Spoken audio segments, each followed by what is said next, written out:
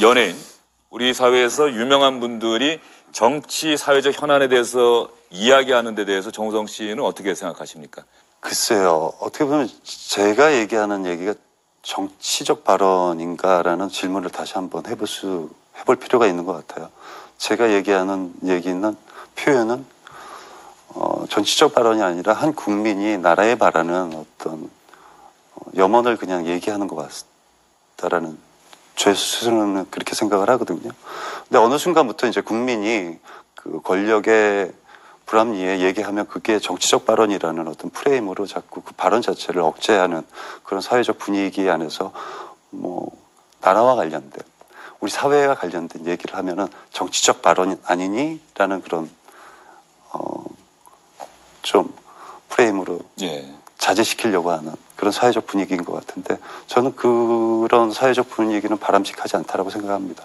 바람직하지 않고 그리고 또 제가 하는 정, 얘기가 정치적 발언이라면 우리 국민 모두 정치적 발언을 서슴없이 해야 된다고 생각이 들어요. 왜냐하면 국민의 관심이 바람직한 국가, 바람직한 정치인을 만들지 어, 무관, 국민의 무관심은 어떻게 보면은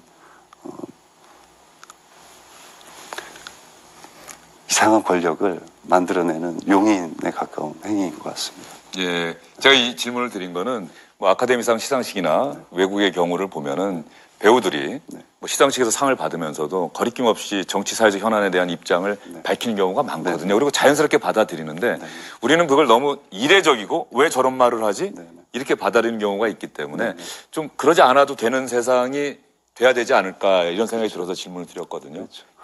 어떤 삐딱한 권력이 이제 국민 우민화 정책이라는 말도 있, 잖아요 히틀러가 그런 얘기를 했대요.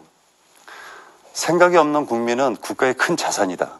어, 예. 독재자 입장에서는 얼마나 큰 자산이겠어요.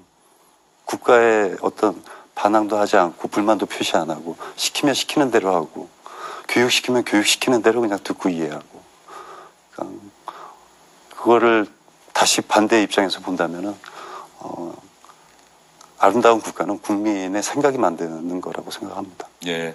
좀 무거운 질문 드렸는데 마지막으로 떠나시기 전에 다시 한번 유엔 난민기구 친선대사로서 시청자 여러분들께 왜 우리가 국제적 난민 문제에 대해서 관심을 가져야 하는지 그 부분에 대해서 친선 대사로서 말씀을 드릴 기회를 드리겠습니다. 네, 이렇게 긴 얘기가 필요 없는 것 같습니다. 우리 이 시대는 모두가 다 연결돼 있고 어, 옆 나라의 문제는 결국 우리나라에게 또 큰 파장을 일으키는 경우들을 왕왕 보고 있습니다. 그게 경제적인 어떤 이슈일 때는 굉장히 민감하게 반응을 하는데 이런 어떤 아, 한 국가의 국민의 어려움을 얘기할 때는 굉장히 멀게만 놓고 보려는 습성도 있는데 사실 그렇지 않습니다. 그런 문제들은 결국 어, 곰고 썩어서 고스란히 더 큰 어떤 부담으로 우리에게 돌아오는 문제가 될 거라는 건 뭐 저의 설명이 필요 없이 자명한 이야기라고 생각합니다. 그렇기 때문에 어, 우리가 함께 사는 세상, 우리가 함께 사는 이 음, 지구의 일이기 때문에 관심 늘 부탁드립니다.